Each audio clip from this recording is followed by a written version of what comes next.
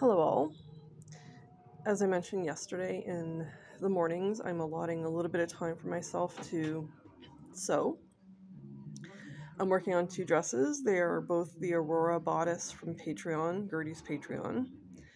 Also, I bought this neat little gadget. Um, it's magnetized, and you can put it at whatever place you need um, for doing, I don't know, things like hemming or whatever.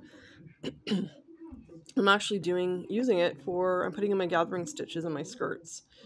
Uh, so it helps me keep it, you know, even so that when I do sew the bodice to the skirt, if I choose to leave it in, which normally I pull those stitches out, but if I ever left it in, you're not going to see it. Um,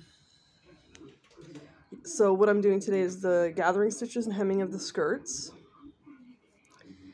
And I'm hopefully I can attach the um, linings to the bodices. And if I still have time, I will attach the bodice to the skirt. And tomorrow I'll do the zippers. I'm not going to do that today.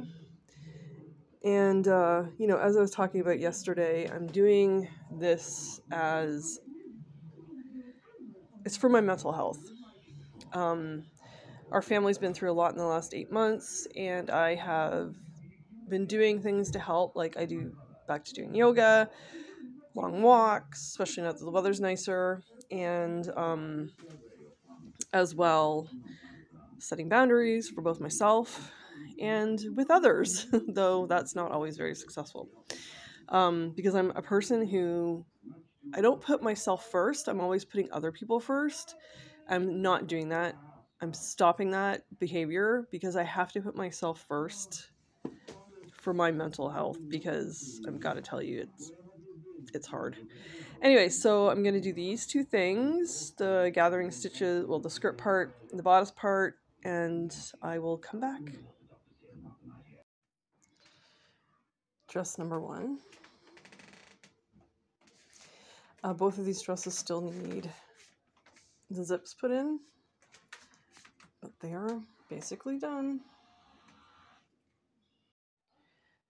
Dress number two. Both dresses still need a really good press. Probably going to wear this one on Saturday. The weather's going to be nice still, so there you go. All right.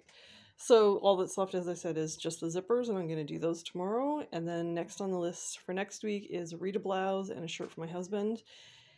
And I need to start putting together a toile for the um, Elsa culottes because I'm making culottes this summer. That's going to be my pants beginning.